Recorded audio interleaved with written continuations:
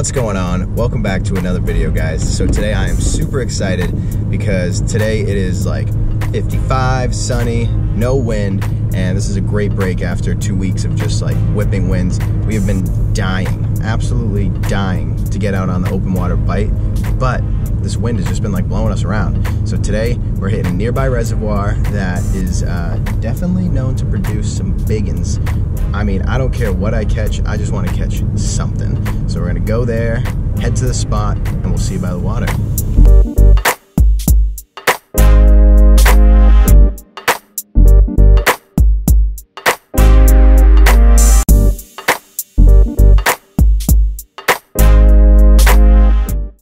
All right, guys, we are on the water.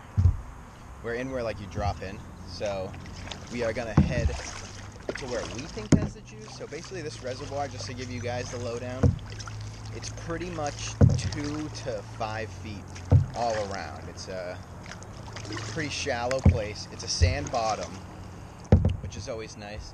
There is some vegetation and then these little like uh, creeks and little back pockets, but it's usually not too bad. Now, there is a dam on the back side of this place, and that is the deepest point. The water gets to about 10 feet there, and it gets it doesn't get that deep anywhere else. Our water temp has been it's still pretty cold. It's definitely getting up there, but honestly, I don't even think it's above like like 53, 55 degrees. So what we're gonna do is we're gonna go to the deepest point. Uh, plus we got pretty bluebird skies, so that means there's high pressure, which regardless usually pushes them deep. Um, so what I think we're gonna do is go to that dam where there's really the deepest point. Just drop a drop shot down, drop like hair jigs, finesse jigs, just really small presentations. Uh, because I think these bass still haven't haven't really flicked on to that pre-spawn hungry mode. I think they're still in that late winter to spring confusion because the cold air has really been hanging around here. I mean, like I said, it's been windy. It hasn't been above like 50 degrees in honestly quite some time. Got my back hatch in the water. Fix that. So we're gonna go to the dam. It's like probably a 10 minute paddle, but we will uh, we'll see you over there. All right, we are getting close to the spot. Let me just show you guys something before we get there on these contour maps. Hope you can see this. Might be tough, but uh, if you can, I'll throw I'll throw a screenshot up on the screen of where we are. Actually, just take one right now. We are sitting in about four feet of water right now, but we're moving towards the drop off, and it drops off pretty fast. It goes from five feet to about 10 feet pretty quickly.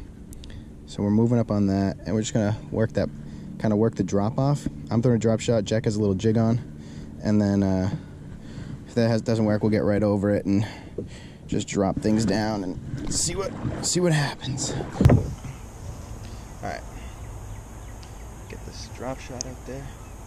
This is uh, weird. I've never really casted. Well, actually, yeah, I've thrown a drop shot a couple times. This reel, guys, this sails outline. It's awesome.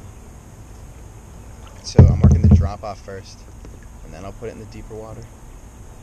I don't know what these guys are up to today.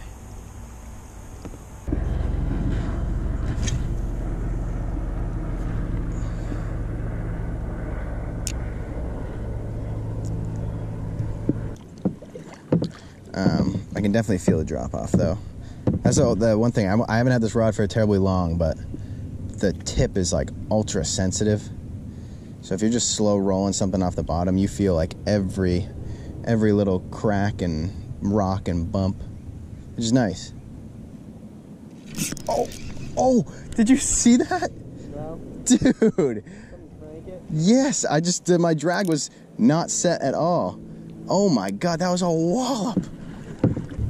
It's really tough to like focus in on a spot when you're on a kayak like this with just even the slightest breeze. Just you don't even realize you're drifting.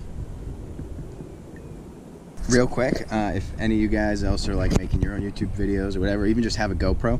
Uh, one thing that I found super helpful is I, I'm like I got three batteries.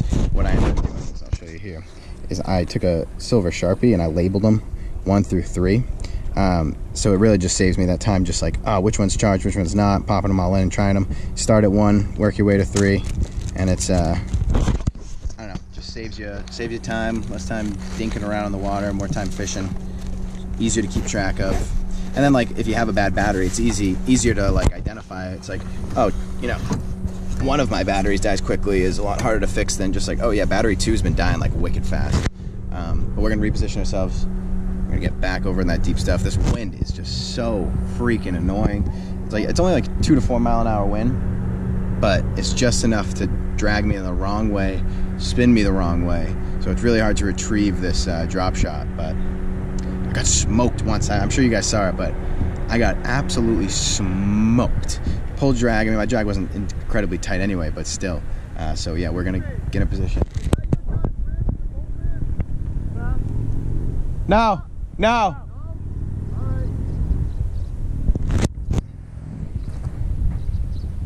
Everybody wants to know if it's our Dodge Ram over at the boat ramp.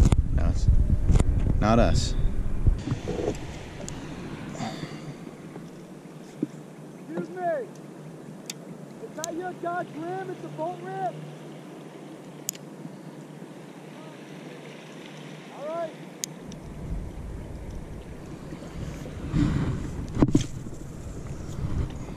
Still very upset. I'm fluffed, fluffed that bite.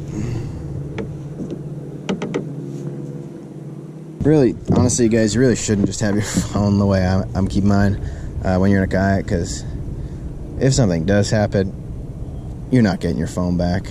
Anything that's not fastened down or attached, you you're gonna have to kiss goodbye. It's really nice having zippered pockets, which I had in the poncho. Um, I mean, I still could throw my phone in it, but I'm just being lazy. It's a pretty flat day. I'm not too worried about it. Um, but if it's like windy out or you guys aren't very experienced on a kayak or anything, definitely keep things in a zippered bag or, or even like a Ziploc bag with air in it or something. You can get like like floaty phone cases, like you slide your phone in, it's a foam backing. So if it does go in, it floats. And you can see I got the GoPro with the floaty thing. So if that gets knocked off somehow, it's not just sinking like a brick to the bottom.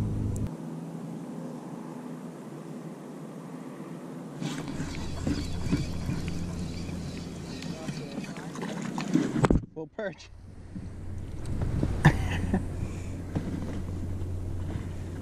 Alright guys, so definitely not the bass we're after.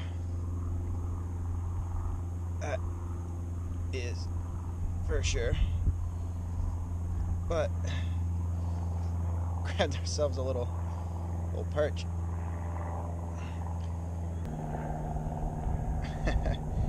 little tiny micro perch. Not micro, but definitely not as big as those ones we were crushing on the other day. Take this GoPro out. Get a release on him.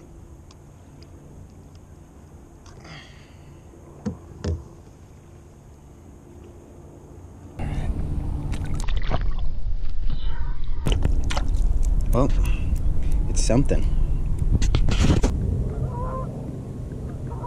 Yeah, I mean, I've had like two perch follows today on this drop shot.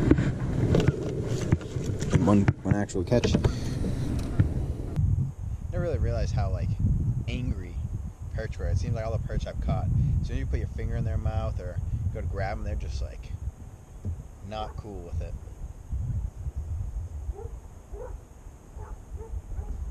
Sun keeps ducking in and out. I haven't had any real bass bite since we got here at like 11. It's 1:30 now. There's been a lot of boats moving around. Um, haven't seen anyone pull up a fish. So we're just kind of sticking to where we got that bite. Working it real slow. I want to go back towards that deeper water soon, but I don't know. It's just I don't know, something about this openness right here feels like where they'd be today. Starting to move up, but I don't know. Maybe it's still. I wish I brought like some kind of thermometer with me, so I at least had an idea of how cold the water was, other than just me guessing. Um, but yeah, honestly, I think a couple more casts over here, We're gonna move back out into that deeper, deeper water, and uh, give that a shot. I'm like so reluctant to take the drop shot off. Um, I don't know why. I just have this feeling like it's gonna work. it's not proven itself. Uh, Jack's just throwing around a Senko at this point. But if I do put something on, it'll probably be a Ned rig. I got a couple packs of these Sakoshis here. I have the blue craw, which is kind of like kind of like green with red flake on one side and blue with that red and silver flake on the other side, and then just uh, black and blue uh, color.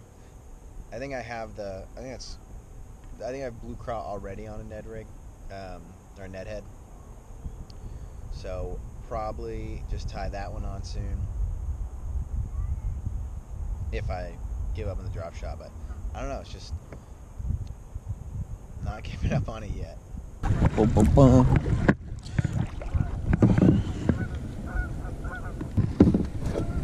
We're pretty much right at the edge, the top edge, where they'd be kind of coming up, moving up.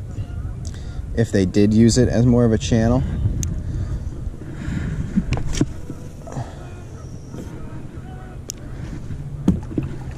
And honestly, I think this is right about where I got that bite. I don't know. It's so hard to like, especially when you're on bigger bodies of water and you're on a kayak and you're moving around a lot. It's hard to really zero in on things. Having an anchor helps. That's definitely next on my to-do list. Because if I can just throw an anchor and drift to the end of it and just lock on somewhere, you at least kind of know where you are. Not sure why my line's all the way over there I cast it straight out.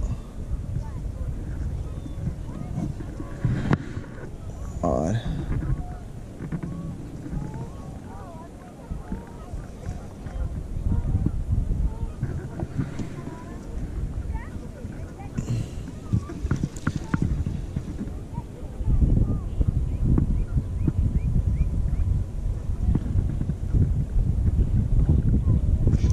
Oh, we got a fish on here. Oh my god. Uh, oh gosh. Oh, it's a pickerel. I got excited. oh my god. Oh my god, this thing's taking off, dude. he's he's fairly hooked. That's why my line moved all the way over. All right, boyos, we are hooked up on a pick. Oh, that was my finger in his mouth. He's a good sized pickerel. Dude, I cannot. What if I hook on a good bass?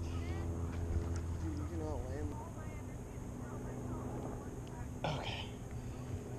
Whew. Much easier to handle them when you get a finger in their gill plate.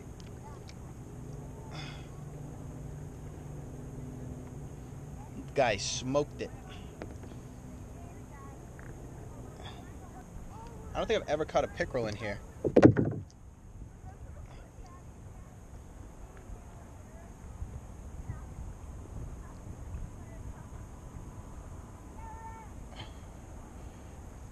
Oh, I knew he was gonna do it. I knew it. Well, he's gone. I hope you guys got to see at least a little bit of him. I knew as soon as I took my finger out of there, he was gone. Well, the bite's picking up, guys. I mean, it's not still not the bass bite, but a couple, uh, couple of exciting things. That was, a, I mean, as far as pickerel go, it was a good size. When that, when he came out and I saw the gill plate, I thought it was a big old bass. But I mean, I was like talking to the camera and I was like, wait a second, I cast it straight out. My line's at like three o'clock right now. Like, what happened? And I, I like kept reeling in, and then all of a sudden I got to my slack, and there was a slime dart on it.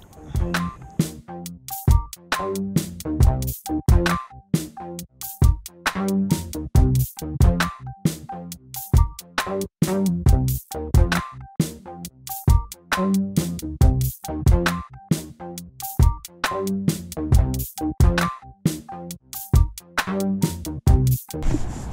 you guys have any luck?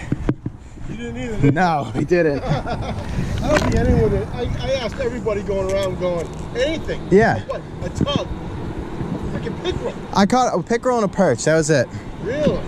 Yeah, I haven't. Nope.